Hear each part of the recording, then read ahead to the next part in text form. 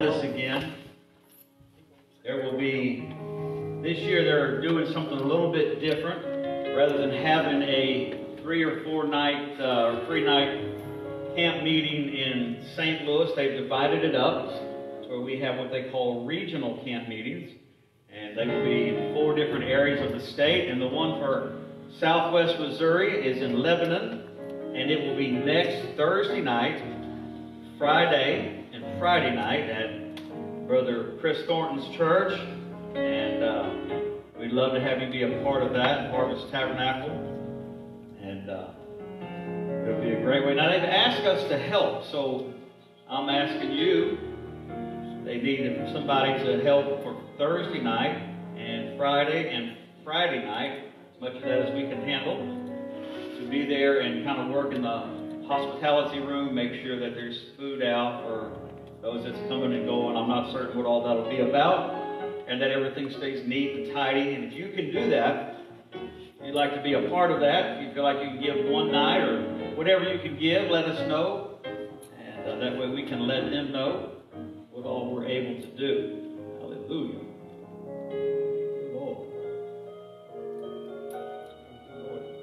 Everybody got their Valentine bought something. Well, let me help you. There's some strawberries in the back. Yeah. and the youth would appreciate you purchasing some strawberries. No, we've done we've done good. We're glad. We're, if you can, if you will, wonderful.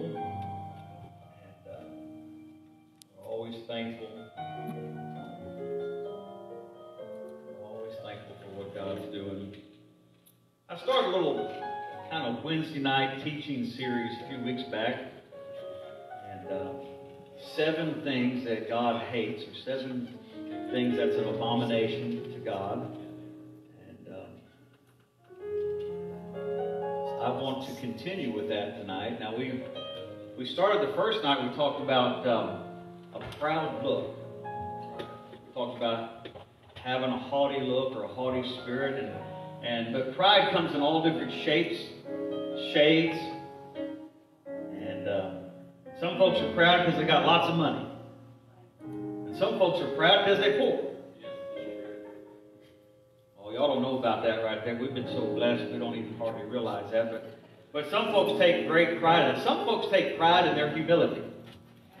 I don't know that sounds funny to you, but it's true. Pride's just a sneaky thing, and it's one of the things that God says that, that He hates.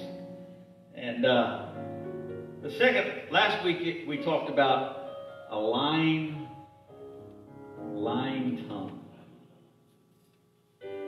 How easy it is for us to lie, how much it's promoted in our society, in our day and time. And uh, if we're not careful, it'll sneak in not only to our lives, it'll sneak into the church. And uh, I hear people say all kinds of things that's, um, you know, from folks that just outright just, you know, they just old timers used to say, they're windy.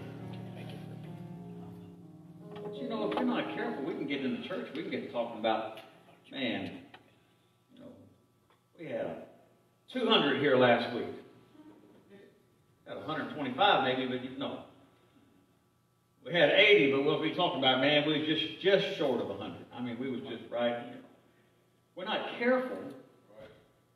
We can begin to say things that's really not accurate.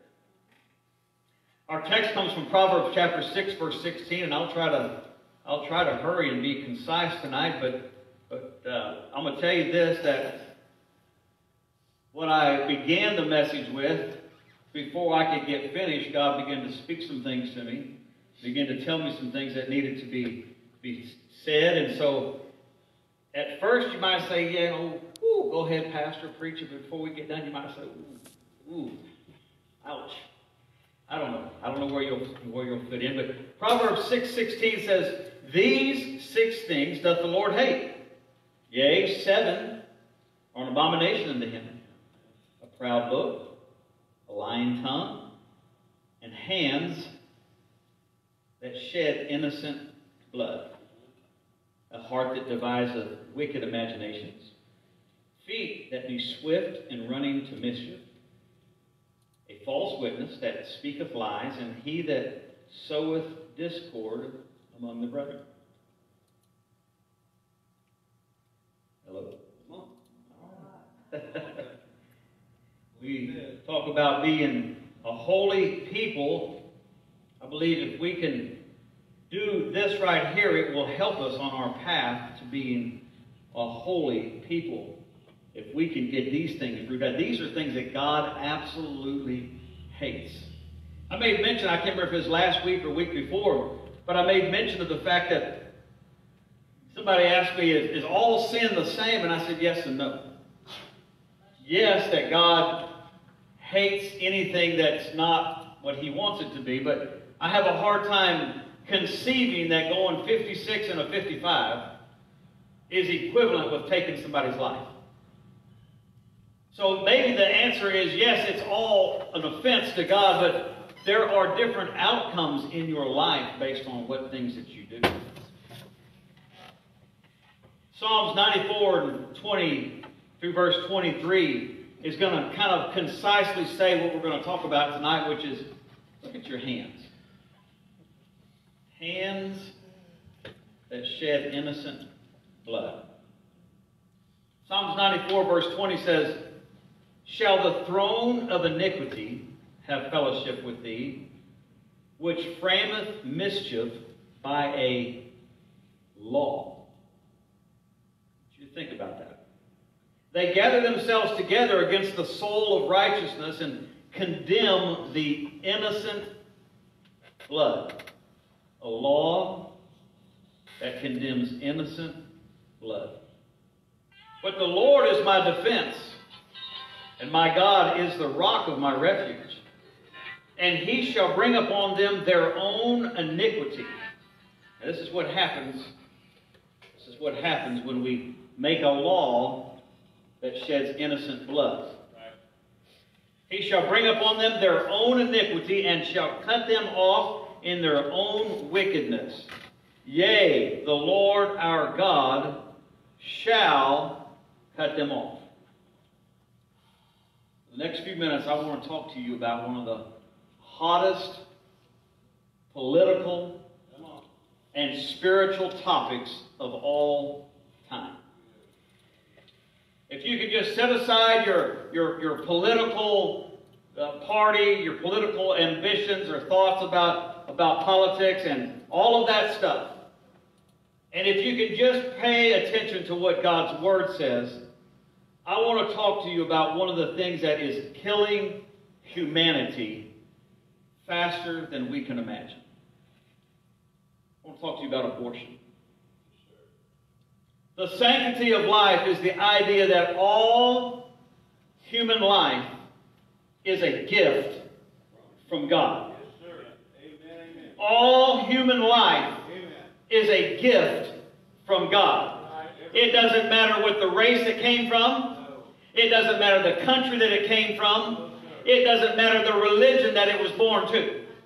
All humanity, all flesh is important to God. There are approximately 1.2 million abortions that are done in America alone every single year. 1.2 million people that shed innocent blood at the hands of another human being.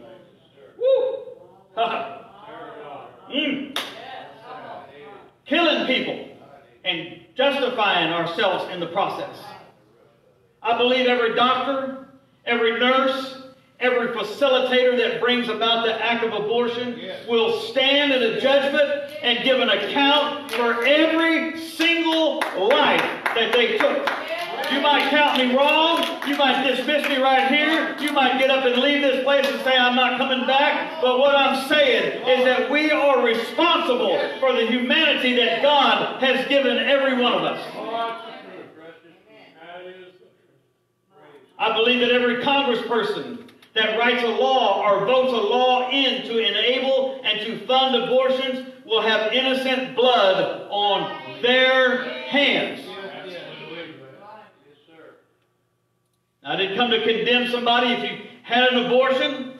This ain't here to condemn you and, and wallow you into a corner and beat you up. What I'm hoping that happens, if you haven't already, is that you repent. You ask God to forgive you and let Him wash that off of your slate so that you're not carrying that load the rest of your life. It's not that God can't forgive you, it's just being willing to admit that you made a mistake and that God can forgive you. Good. Yes, it is. That is the truth. Isaiah chapter 44 and verse 2. If I can read just the first part of it. It says, Thus saith the Lord, thy Redeemer, and he that formed thee from the womb. Jeremiah 1 and 5 says, Before I formed thee in the belly, I knew thee. Right. And before thou camest forth out of the womb, I sanctified thee and ordained thee a prophet unto the nations. God seen every one of us before we was ever born. Before we ever gasped breath into our lungs, God seen us. God looked down upon us and He had a plan for you and I. He had a purpose for us. He seen us more than waiting till we were just born. America begins to date, debate the issue every year, especially around election times. The question is often argued is, when does life begin? Well, some folks will say, well, I just don't believe life begins until they're born and they take breath. Some people will say, well, I don't believe it begins until they reach a certain point that they can they have a heartbeat or there's a certain point that they do this or that. And a lot of these arguments come from way back before medical science was where it is and we could see what's happening in the womb. But I believe in my own life and in my own thought process that we are born or we become life, not born, we become life at the day of conception. Not five days later, not ten days later, not three months later, not five months later. I believe that when the seed is planted, that suddenly the egg begins to take form and it begins to form a life. DNA begins to happen right then. Yes, sir. Amen. Amazing, amazing. Right. The debate rages in the media around well, what about the health of the mother?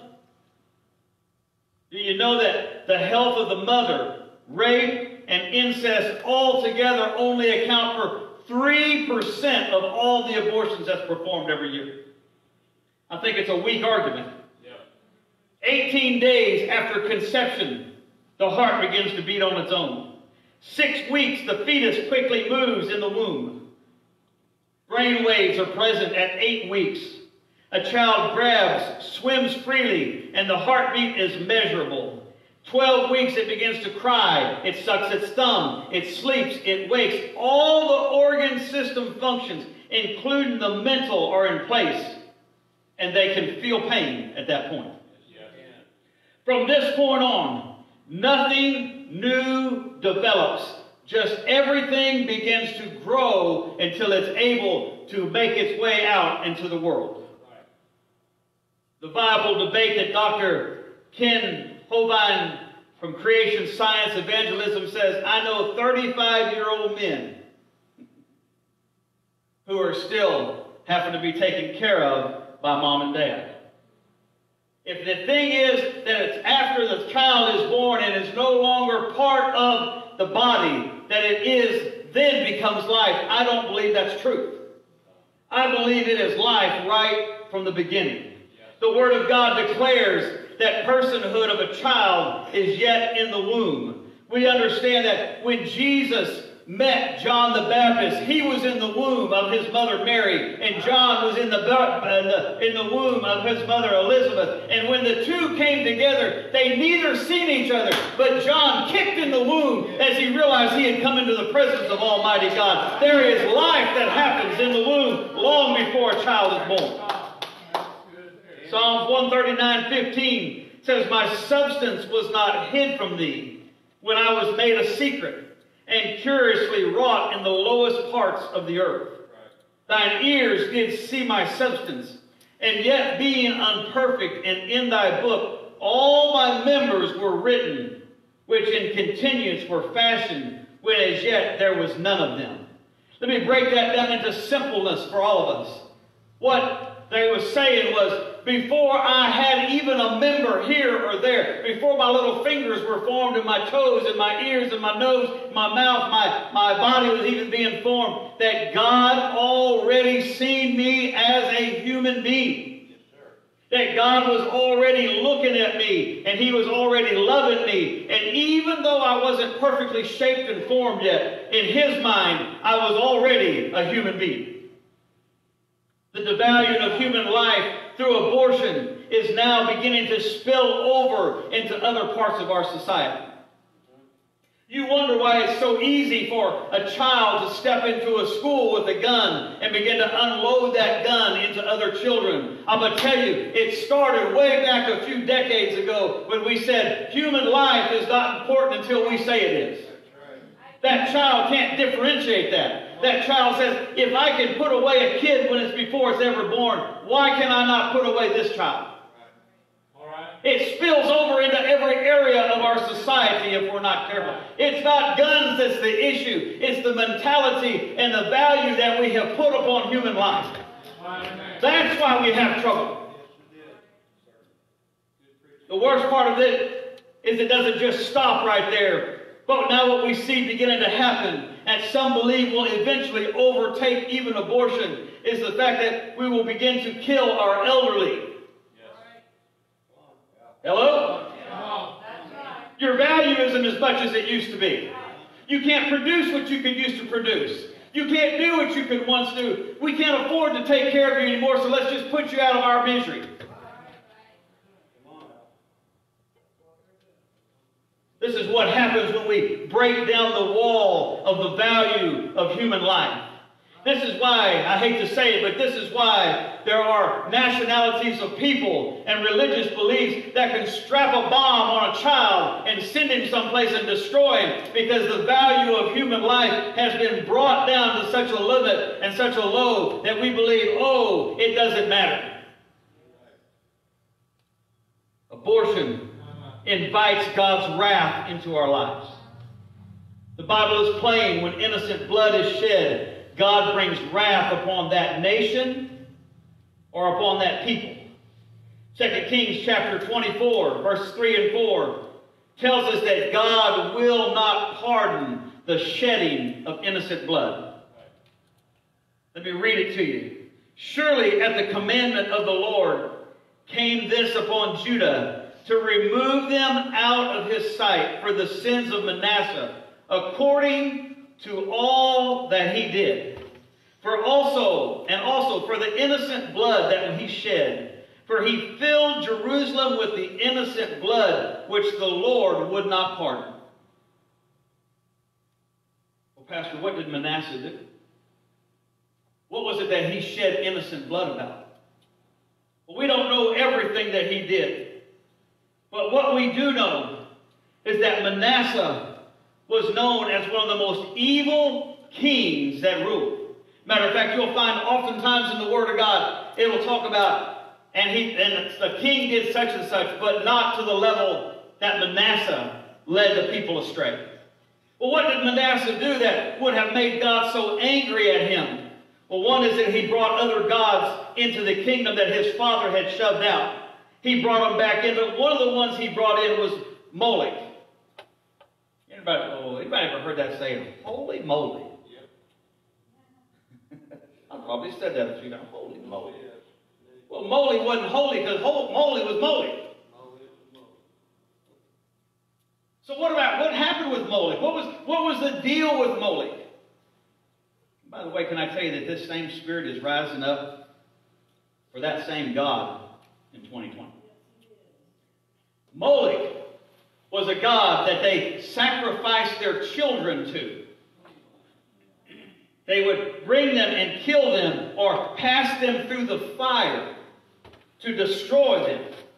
This is one of the reasons why God hated Manasseh so much because he was shedding innocent blood and he didn't just do it for himself, but he led the children of Israel and said, Come on, bring your children. Let's kill them together and give them to Moloch as an offering. God hates it when we shed innocent blood. It's one of the seven things that He hates hands that shed innocent blood. The Lord said that He filled Jerusalem with innocent blood. God said that this innocent blood was a serious issue. The scripture tells us that Manasseh was hated and often used as a high watermark, high watermark for evil in the kingdom. I believe that God's grieved over the abortions that happen in our world and in our nation. Psalms chapter 106, verse 37 through 40 says, Yea, they sacrifice their sons and their daughters to devils, and shed innocent blood, even the blood of their sons and of their daughters, whom they sacrificed unto the idols of Canaan. And the land was polluted with blood. Thus were they defiled with their own works, and went a whoring with their own inventions. Therefore was the wrath of the Lord kindled against his people, insomuch that he abhorred his own inheritance. Might not think it's important as long as you're not participating. I'm glad if you're not, thank God we don't want you to.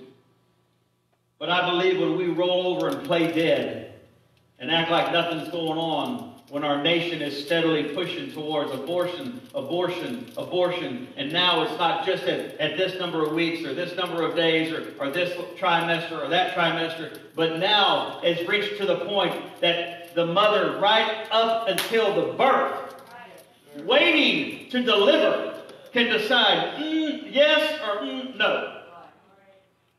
As a nation, we have accepted and made rules and laws that say this is acceptable as a nation to us. I believe that God is looking at our hands and He's saying, I don't accept hands that shed innocent blood. I believe it's time that we start talking and saying, God, forgive us as letting this happen. So what do we do? We seek God's forgiveness as a nation. Chronicles 7:14 says, If my people, which are called by my name, shall humble themselves and pray and seek my face and turn from their wicked ways, then I'll hear from heaven. And I will forgive their sins and heal their land. Elected officials that will try to stop the moral mudslide will begin to arise. We need to allow God to do what's in God's hand, and that is, He's the giver of life. He's the taker of life. But then the Lord began to speak to me about another part of abortion. This one's seldom talked about or even acknowledged. But God believes it's just as serious. I believe God is grieved by the people that call themselves Christians that are aborting spiritual babies. We could take a holier than thou, righteous than thou aspect and say, we don't participate in aborting babies. We're not part of that. We believe against that. But yet, I wonder how many people have lost their spiritual life in the hall or in the aisle or in between the pews because somebody wasn't sensitive enough and they aborted that child, that spiritual child, before they ever came forward. You can argue over when spiritual life begins in someone, but I believe it is long before they're ever born again. I believe conception happens long before they're ever born again. There is a time period that we are carrying people in the spiritual womb, and if we're not careful, we will allow ourselves to say and do things that will destroy that soul, and they never walk back in the house of God, of God again.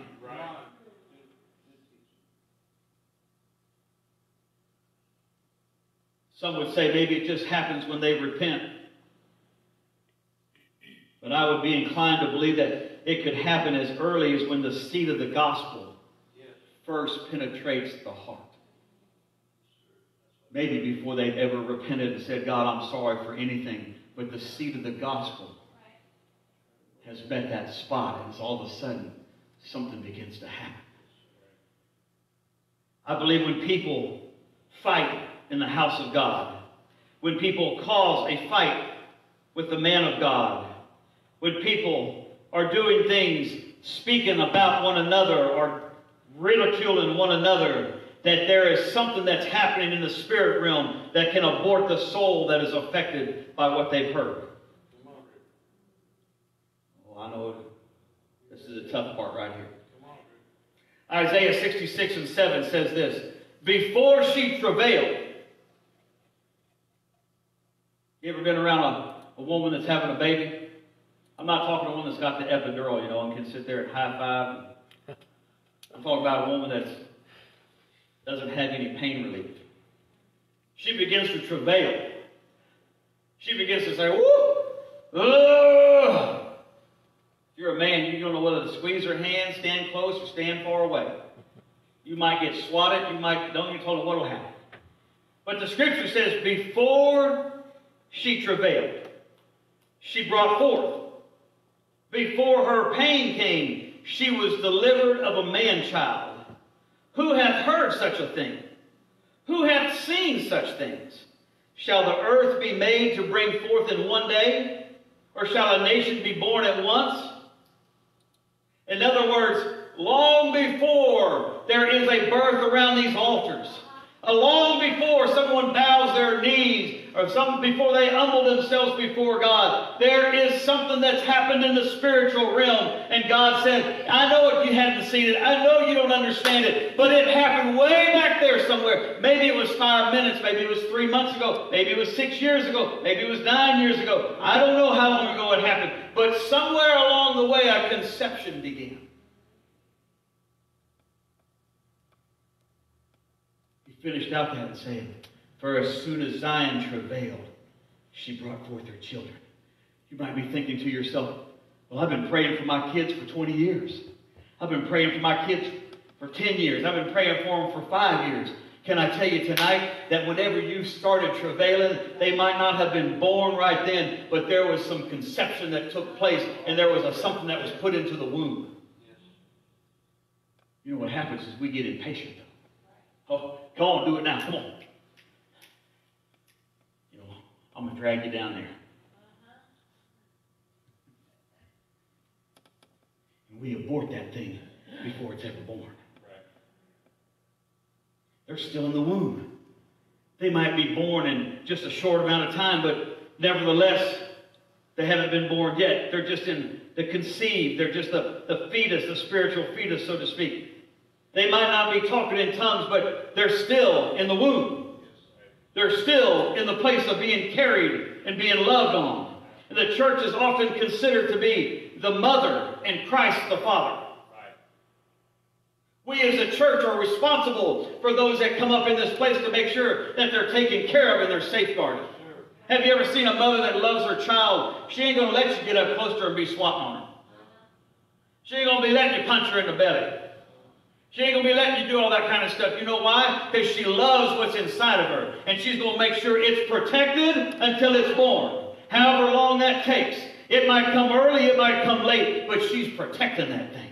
She's keeping it safe. She's building some safeguards around it. She's doing some things to be healthy. She's eating healthy. She's loving healthy so that the baby is loved. They tell me that the children can hear in the womb and that's why it's so important to say wonderful things to them. You say, oh, that's just a bunch of talk. I believe what you're saying to that child that's inside of you. Father, if you're saying that something to that child that your wife is carrying, that child is hearing, you're speaking to that thing. You're speaking to it. I'm going to love you. I'm going to care about you.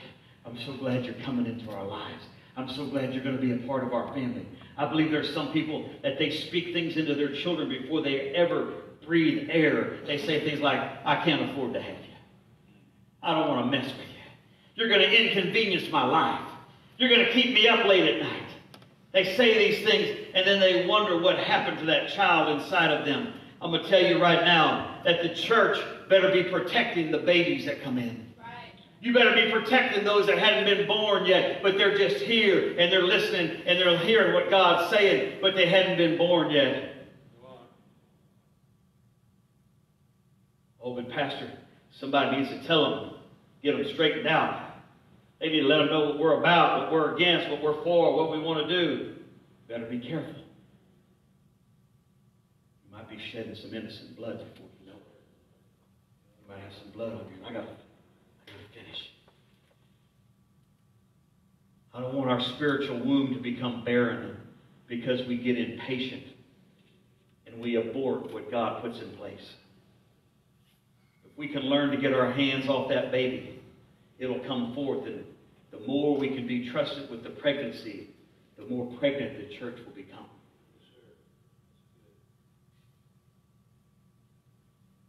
I believe that some churches never able to step into the revival that's promised. Because when the revival shows up, it doesn't look like what they're expecting at the moment. Yes, right. But I believe God has a harvest that's large and it's diverse and it's waiting to be brought forth. When I see people coming in, when I see souls coming to the, to the place, I'm thinking, God, let's protect them. Put arms around them. Let's love them. Let's keep something from getting to them. They come up here to around the front. Be careful how they're treated. Don't get your hands up on top of them, start shaking their head till they, their neck's falling loose on them. Don't be spitting on them while you're trying to pray for them. God's just as powerful when I speak like this as when I'm yelling. You just put your hand up on them. Maybe not on their head, maybe. Maybe you might just ask them, Can I pray for you? Can I love you a little bit? Can I tell you how good God is? Begin to love them and care for them. This is why small groups is going to be so important because it's a non invasive place where they can be loved until they're born.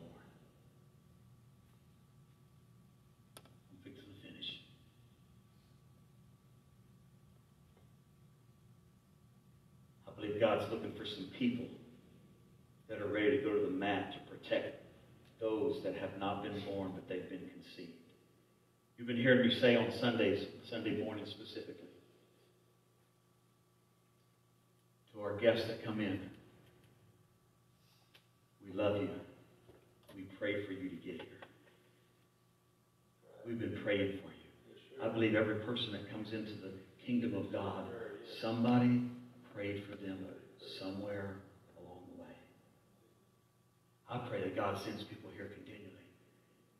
I pray, God, let them find this place. Dispatch angels around this city. There's people that's dying right now, wishing that somebody would give them life and hope. And they don't even know where to go. They've been confused about all this place and that place. And, here there's a place that they can find safety and love. I believe God's looking for some people that'll say, you can count on us to love those that haven't been born yet.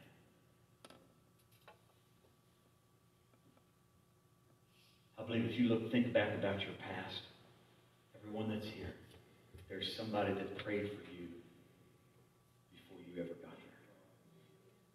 There was a mother, a father, a grandmother, a grandfather, a neighbor, an uncle, a niece, somebody that called your name out. And that's why you're here. Because there was a seed that was planted. And you was conceived, but you tell the story of my great grandmother, Lauren. She was a praying woman. She had 13 children. If I had 13 children, I'd be a praying man.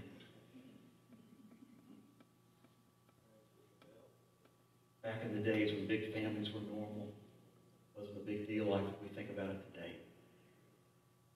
She had 13 children, and they worked on a farm. And my grandmother told me that that they never even knew there was a depression in the 40s. They didn't have any money to start with to buy anything. They lived off the land, so they just didn't know. But they tell the story that my grandmother, my great grandmother, excuse me, that she would go out and there was a little breezeway that was between the house and the, the kitchen like they used to do, so that if the kitchen caught on fire, there was a chance that they could keep the house from catching on fire. And she would get in that little breezeway and she would begin to pray. And she would pray. And she would pray for her 13 children and she would call them by name. But then she would pray further than that. She'd pray for their wives, their husbands. And then she would pray further than that. She would pray for their children. And then she would pray for her children, their children's children. And she would pray for the next generation. And they said she would pray for great grandchildren that had never been born, not weren't even thought about yet. But she was already bombarding heaven. And she was praying, God, let them be the one. God, let them be full of the Holy Ghost. God, let them be a part of the kingdom of God. She was tearing down walls. I'm telling you, your prayers are important. They will give birth. When Zion travails, they will bring forth sons and daughters. Today, today, not all, not even close to all, but a huge percentage of her descendants live for God. Many of them pastors, ministers of some sort. I don't think that's an accident. I don't think it happened by accident. I think God heard a prayer, and there was something that was started way back there, long before the person ever brought forth life she was praying for. I pray that the spirit of repentance and travail would fall upon me and upon this church as we ask God to forgive us for every time that we've shed innocent blood by aborting a spiritual child. For every time that we spoke caustic things that killed the unborn. I pray that we commit ourselves to God protect that that God's given us. To love those that are unlovable, maybe that don't look like, talk like, walk like, smell like us, but they're still waiting to be born. I believe God's looking for people that he can trust with new babies. You can stand. Paul said, I will travail again until Christ be formed in you. Pastor, what can I do? Maybe I made a mistake somewhere along the way. Maybe I said something I shouldn't have said. Maybe I did something that offended or whatever. We can't change that. That's in the past. We, we have to leave it behind, forgetting those things which are behind and reaching for those things which are ahead. But what we can do is we can travail again. God, give us spiritual babies. Fill this house up with people. We'll love them and protect them. We won't let anybody destroy them. We won't let anybody mess them up. We're going to love them and care for them. Paul said, I'll travail again. It's time for us to travail again and say, God, give us new babies. I believe revival is waiting. It's been promised. It's been promised. It's here. This city's ready for more revival. It's ready to see what God's going to do. We're not putting down anything in the past. We're just saying we want a new revival to hit this place. I'm asking every one of you to just put your hands up right now. We're fixing to pray together. If you're watching us online tonight, we're so thankful that you've been with us. We're asking you to bow your head wherever you're at. You might want to lift your hands if it's appropriate where you're at. We're going to pray right now. First, we're going to pray a prayer of repentance. And then we're going to ask God to begin to minister and let revival flow wherever you're at and here where we're at. Father, I ask you right now to forgive us. Any life that we have taken physically or spiritually. God, I ask you right now to forgive us. It wasn't intentional. We didn't mean to do it. We're so sorry things that we might have said, things that we might have done that destroyed. Please forgive us. And we ask that you would allow that person, if possible, to make their way back to the house of God. Because, Lord, we promise we're going to love them and care for them and take care of them. God, I ask you to forgive us for anything in our lives that's unpure, unholy, unrighteous. And God, that we would be able to take and walk into what you're doing right here and right now. God, we're believing for the revival that you have promised, not only here, but many places around the world that's waiting as you have said that you'll bring forth revival. We speak revival there. We speak revival here. We speak revival in this nation. Forgive us as a nation for the lives that we have taken. Forgive us, God, for writing laws that would help to promote killing our own children. Innocent blood that's on our hands. God, we repent of turning a blind eye and a deaf ear and acting like it wasn't happening. But God, we believe right now that you will forgive us and you will turn toward us again. We humble ourselves before you. We ask you to hear us, oh God. I pray right now that you would send forth the revival that you have promised in 2020. Right now, starting today, not next week or next year, but today, God, we entrust you to bring forth a great harvest here. You said the fields are white and ready for harvest. Even as we're praying and speaking, we believe it to happen. We thank you for what you're doing. And we ask you, God, to do the miraculous among us. In Jesus' name we pray. Amen. Amen. Thank you, Lord. Thank you, Lord. We're going to sing together.